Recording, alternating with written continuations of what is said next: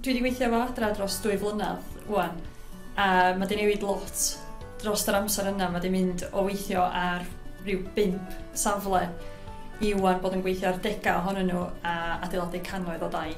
E, rydym yn gweithio ar dipyn o prosiectau cyffroes ar y funud. E, rydym yn gweithio ar rhai o prosiectau mwyaf erioed o ran adeiladu. Ar, lle mae gennym ni un safle Rexham sydd yn 99 o dau sydd yn rhan o safle hyn o mwy ac hefyd um, mae gennym ni ddau prosiect sy'n adeiladu fflatiau yn un yn Bangor, un Pwllheli. Peth gorau am weithio i adra ydy cael y cyfle i weithio o'r cartra a chreu um, cartrefi newydd a modern a product gwych ar gyfer pobl o Gogledd Cymru.